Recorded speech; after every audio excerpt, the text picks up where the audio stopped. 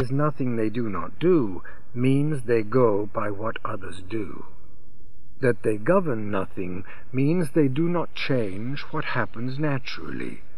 That there is nothing they do not govern means they go by what is appropriate for others. All things have their outcomes, but only sages know how to keep to the root. All events have their implications, but only sages know to keep by the gate. Therefore, they fathom the fathomless and reach the end of the endless. They notice things without being blinded. They respond like echoes without wearing out. This is called celestial understanding. Therefore, those who attain the Tao are weak in ambition, but strong in works. Their hearts are open, and their responses appropriate. Sages do not need authority to be noble, do not need wealth to be rich, and do not need power to be strong. Peaceful and empty, they are not subject to outside influences. They fly freely with evolution. Thus they leave gold hidden in the mountains, they leave pearls hidden in the sea. They do not see profit in material possessions, they do not covet power and fame. They do not take pleasure in ease, they are not saddened in straits. They do not find comfort in high social status, they do not find peril in low social status. Their body, mind, energy, and will each rests in its proper place. The body is the house of life. Energy is the basis of life. Mind is the regulator of life. When one of these loses its place, the other two suffer.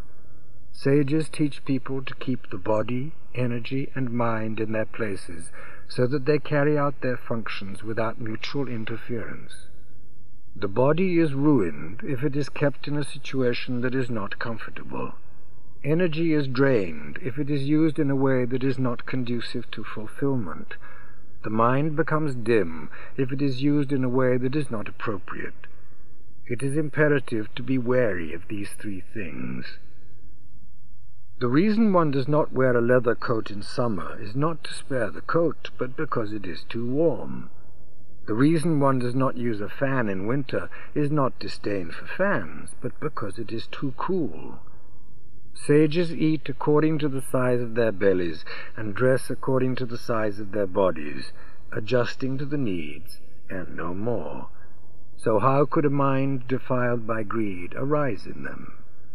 Therefore, those who are capable of leading the world are those who have no ambition to use the world. Those who are capable of sustaining fame are those who do nothing excessive to seek it.